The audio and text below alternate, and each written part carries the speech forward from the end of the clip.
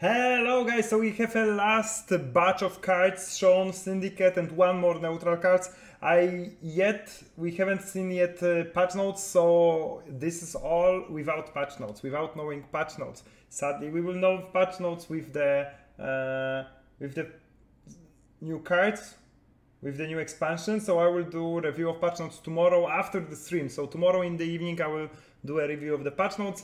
Uh, but for now, let's go quickly through Syndicate. Uh, Space Goat.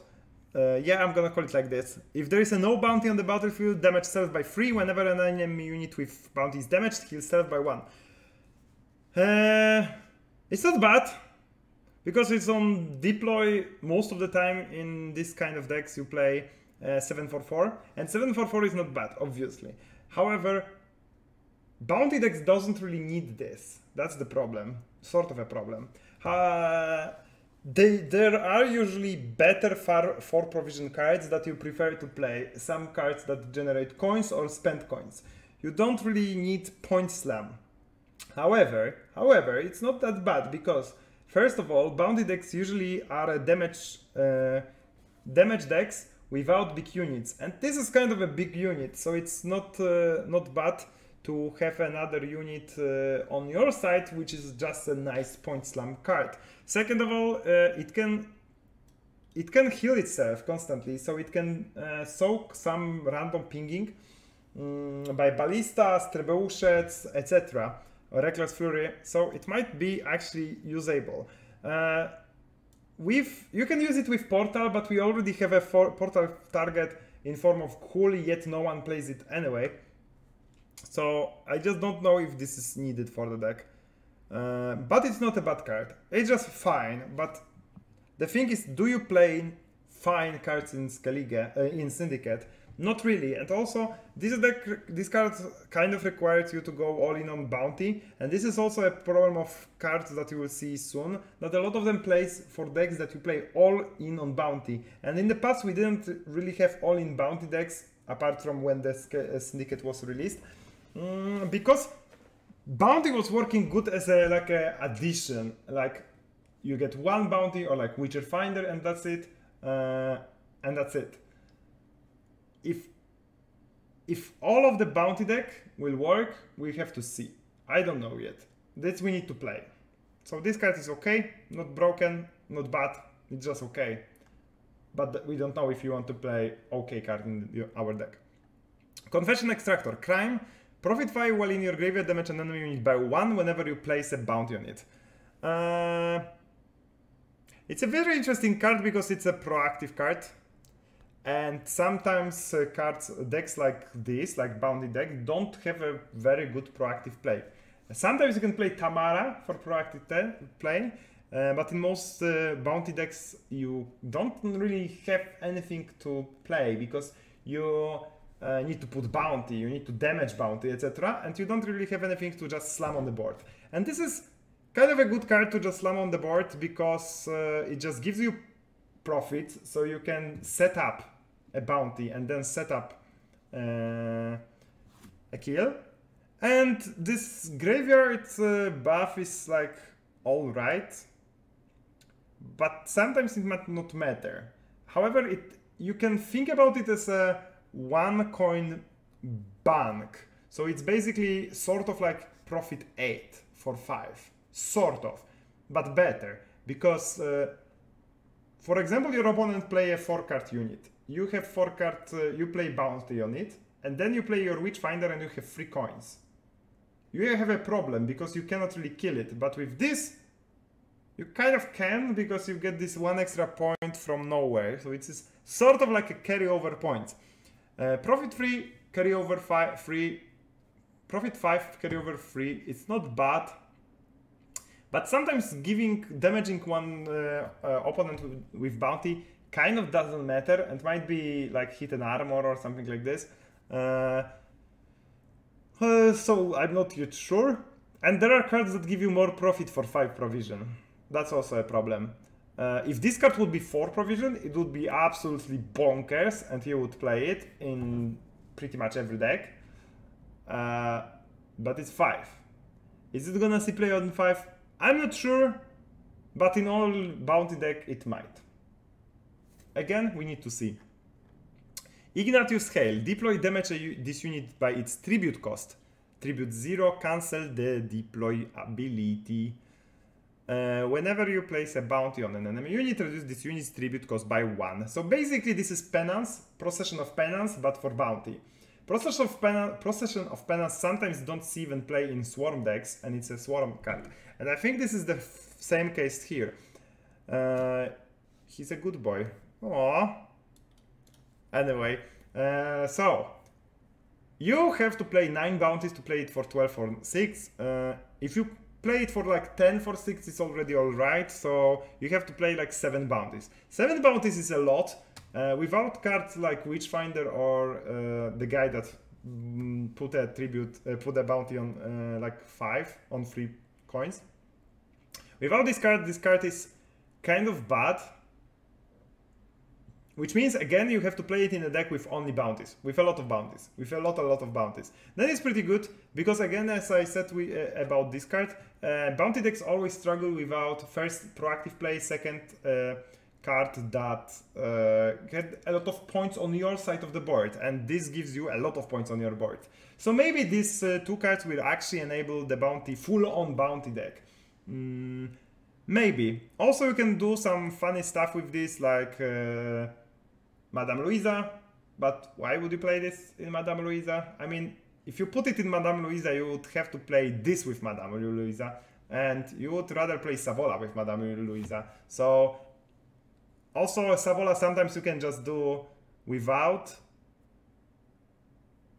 uh, like without Madame to spawn points, and you get like enough points to that nine point nine coins waste is not a waste.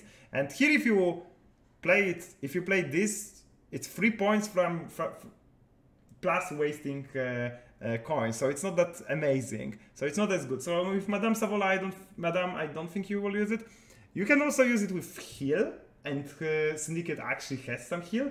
And I personally played with Hyperfin Syndicate, and this card would fit Hyperfin Syndicate probably but it's a meme. And I don't think you will just play it for heal. Uh, but with Becker Dark Mirror, woof, you can get how many? 14 points. So it will play for a lot of points. 19 plus 19 for 6 plus Becker Dark Mirror. Well, you can play it, but why? Uh, but it's a Witch Hunter, so it's also synergized with uh, uh, Tamara. I actually think in all bounty deck you will play it. And there might be something like this. Why not? Scoundrel. This is a very interesting card because uh, other than other cards that we rated, this card can be played in decks that are not only about bounty. So deploy summon the top bronze unit from your opponent deck to the opposite row. Then place a bounty on it. Uh, tribute 2, choose a bounty bronze unit to summon instead, then place a bounty on it. Uh, fee, damage the enemy unit with bounty by 1. Ah, a lot of things to unpack. First of all, I start from the middle, Tribute 2, which means that this is another uh, card that wants to play for off the books. So off the books with all uh, mm, of the books with uh, all of the bounty decks might actually be a thing because this is basically free always. And you always choose a unit for free which is uh, very significant. Because having to summon the top bronze unit on your opponent on your opponent putting, putting bounty on it sometimes you get like great sword put a bounty on it damage it by one. Oh no not and you are in problem because you basically played for two points and you place a bounty on the card that you cannot kill, sort of, of course, sort of. Uh, so sometimes it might be awkward. If you choose a bronze unit though, uh, it might be pretty good because you can first disrupt some combos, like with Mamu Mamunia uh, from monsters. You can get rid of the cards they want to summon. Sometimes you can just uh, get rid of some crucial bronze. Uh, sometimes you can play, play pick like the lowest bronze or something like this. And sometimes maybe he doesn't have any bronzes, so it's just a slam of 12 points, which is also good because it's also a coin spend spender. But what is very important, if you see choose a bronze unit, if you, especially in open deck lists uh, deck uh, games, that's why even if you don't see this card in uh, ranked, you might see this card in tournaments because basically if you if you play the tribute you know exactly what bronze units are left in your opponent deck which means that if you have a deck list of this deck next to you, uh, or you expect what you have it in on the rank ranked, you see all of the bronze cards they play, uh, units, and you see all of this. And then you can see roughly how many golds and bronzes they have uh, they have in hand. So sometimes you can, for example, if you see no bronzes and you know that your opponent didn't play 10, you know that your opponent hand is 10 bronzes and you kind of know which bronzes they are. Mm, of course, it doesn't show you spells, so sometimes you can be debated by spells, uh, but it gives a lot of information. Uh, and in card games like Gwent, information about the hand is very powerful. Uh, another thing is damage the enemy unit with bounty by one. This is not targetable. In most cases, it doesn't matter, but if you summon something on the uh, on the on the deck and it's hidden behind defender, you can kill it. If, if, if the target has immune, you can kill it. Witchfinder sometimes uh, apply uh, its bounty to cards that are hidden behind defender or hidden behind uh, immunity. Now this card can kill it, which makes it very uh, powerful. Uh, I like this card. Card. It's very cool. It's not OP because sometimes when you think about it, you have you are out of coins. You just play this for the point slam, and your opponent summoned great greatsword, and you played two provision for uh, two power for ten provision, which is absolutely disastrous. But the amount of information and flexibility it gives makes this card pretty good. I'm optimistic about it. And uh, so, uh, summing up all of the syndicate cards, they kind of uh, play in the same deck, which which is a little bit sad. However, I think there might be finally an all-in tribute deck with off the books and Anna Strenger, and not Anna, Tamara in play. And I will be testing this deck. I will be definitely testing that deck.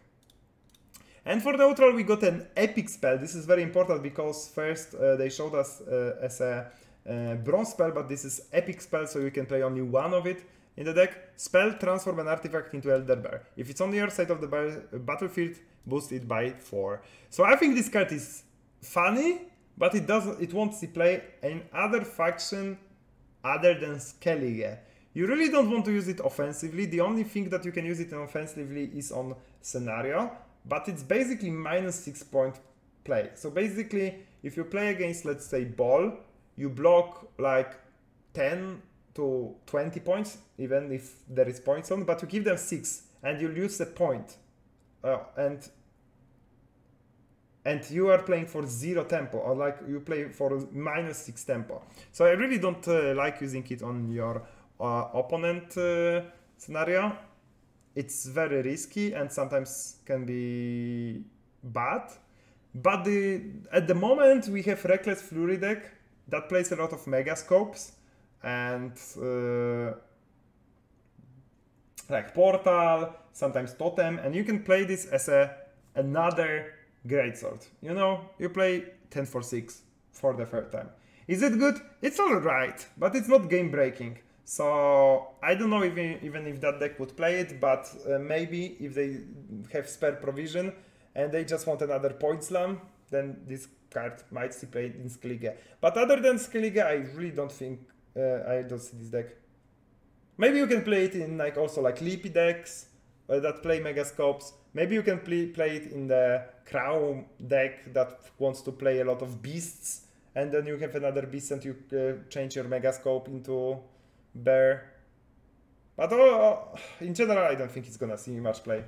So that's it. We're gonna have we will have expansion tomorrow morning. I can't wait. Tomorrow we have a long stream with all of the faction. So come join me in the hype.